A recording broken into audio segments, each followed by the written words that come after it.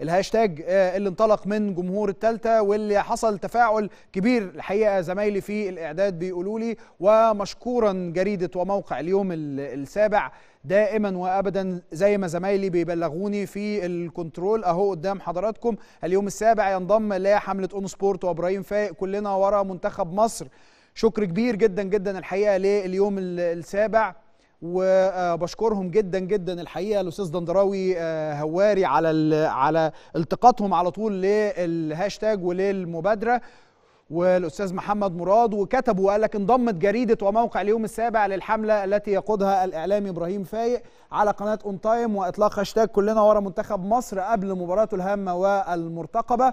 العامل الأساسي صحيح للنجاح وبالتالي هو وجودنا في ظهرهم. شكر كبير جدا جدا لليوم السابع.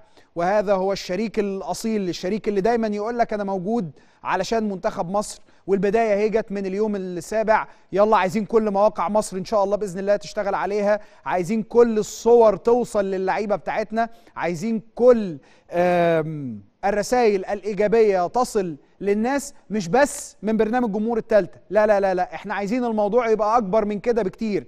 عايزين كل جرايد مصر وكل مواقع مصر زي ما اليوم السابع الحقيقة ما عملوا كده عايزين كل مواقع مصر وتبقى الحملة دي الحملة دي بتاعه مصر كلها. تبقى الحملة دي بتاعه مصر كلها مش بتاعه برنامج ولا بتاعه قناة. لا لا لا لا إحنا كلنا عايزين نبقى في ظهر منتخبنا الوطني وهو ده اللي عهدناه في وقت الشدة الحقيقة. لازم الناس يوصل لها الرسالة بتاعتنا. خد بالك أنا كل ده بتكلم على منتخب مصر.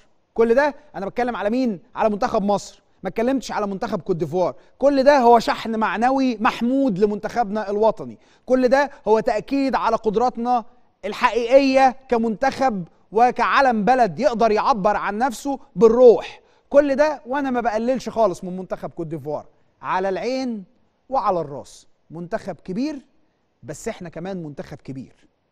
عندهم 11 لعيب بس إحنا عندنا 11 لعيب إحنا كمان وعندنا عزيمة وعندنا إصرار وعندنا روح الفانيلا بتاعتنا اللي دايما بتظهر آه ويظهر معدنها في وقت الشدة وعندنا التاريخ اللي قال إن إحنا نقدر وعندنا اللعيبة اللي تقدر تأكد التاريخ ده في الماتش أول لما الحكم يصفر.